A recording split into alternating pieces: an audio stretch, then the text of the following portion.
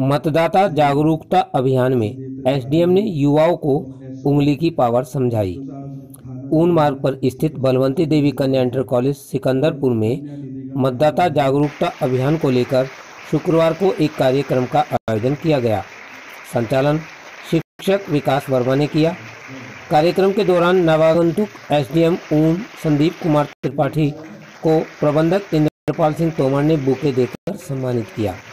SDM ने अपने संबोधन में छात्राओं को मतदान करने के लिए उंगली की पावर को समझाया और मतदान करने की आवश्यकता को भी बताया। एसडीएम ने बच्चों के बुद्धि परीक्षण के दौरान उनसे सवाल जवाब करते हुए कम समय में और कम शब्दों में बेहतर प्रेजेंटेशन देने की टिप्स भी दी। मंच पर थाना प्रभारी निरीक्षक सुदेश कुमार, भाजपा नेता बंटी चौधरी, निर्वाचक अधिकारी शीशपाल राकेश ठाकुर, कानूगो विनोद कुमार, लेखपाल नगेंद्र शर्मा, लेखपाल अजीत पवार आदि मौजूद रहे। कार्यक्रम में शिक्षक वर्मा और प्रबंधक तोमर ने स्वागत गीत के द्वारा नवागंतुक एसडीएम का स्वागत किया। अभियान के अंतर्गत एसडीएम ने हाथ उठवाकर मतदान की शपथ दिलवाई। डायरेक्टर अंकित तोमर, शिक्षिका अधिबा, अनुराधा, निंकुज, प्रिया, सुषमा, अर्चना, नीलम, प्रियांशु, सेवाराम आदि मौजूद रहे। आप देख रहे हैं झिंझाना से प्रेमचंद वर्मा की ये। तुम्हारे हैं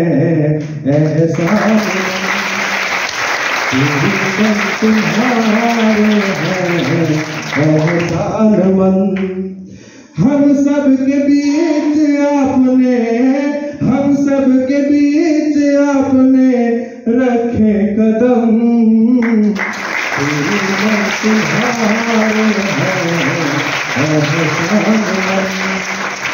में बार बार बेटियाँ, दिव्य गुणों से परमात्मा ने आपको सजाया।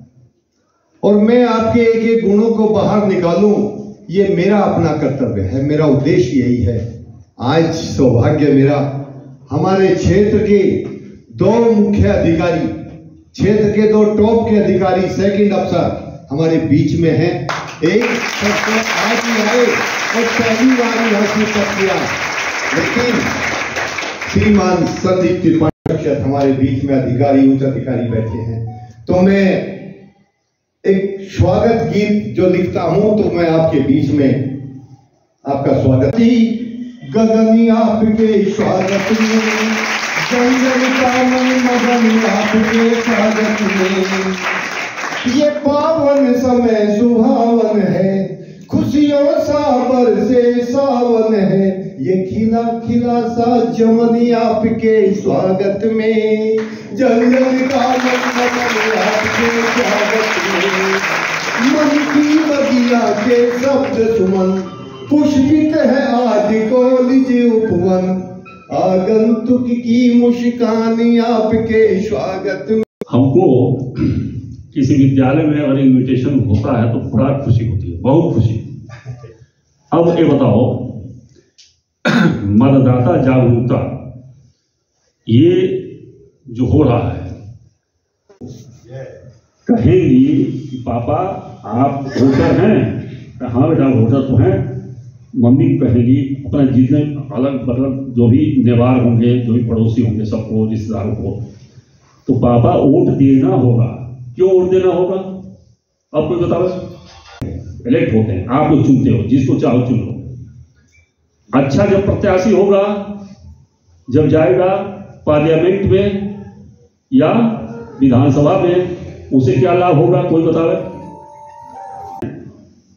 एक चीज़ बतावे कहने में शर्म नहीं हमको। कानून बनाते हैं। अच्छा जब कानून बढ़िया बनेगा तो क्या होगा? कानून और पुख्ता हो जाएगा। और तब उसके बाद क्या होगा? जब हमारा हम अच्छे प्रत्यक्ष को चुनेंगे वो हमारे कानून को मैंने हम लोग के हित में होगा। हाँ जो हमारे हित में होगा वो अपने रिश्तेदारों को अपने पड़ोसियों को ये कहना है होगा और वोट देना होगा। और हम लोग में बहुत उत्सुकता होती थी। हम लोग जब वोट देने का हुआ पहली बार तो बहुत हम लोग उत्सुक थे वोट देने के लिए। तो आपके अंदर भी होगा। जो वोटर नहीं अठारह साल हो जाएगा तो कोई दिक्कत कोई अठारह साल से हो। आप बताना फॉर्म जो भिजवा देंगे ऑनलाइन भी आप लोग कर सकते हो। कोई ज़रूरी नहीं है कि आप लोग फॉर्म भिजवाओ। ऑनलाइन आप वेबसाइट खोलोगे ऑनलाइन कर दोगे। लोकतंत्र में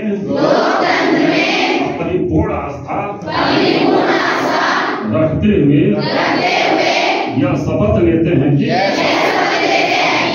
हम अपने देश की लोकतांत्रिक परंपराओं की मर्यादा को बनाए रखेंगे तथा स्वतंत्र निष्पक्ष एवं शांतिपूर्ण निर्वाचन की गरिमा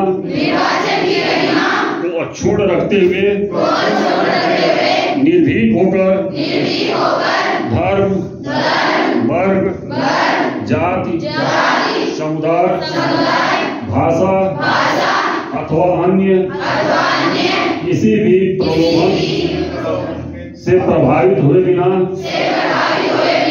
निर्वाचनों में अपने मताधिकार का प्रयोग करेंगे।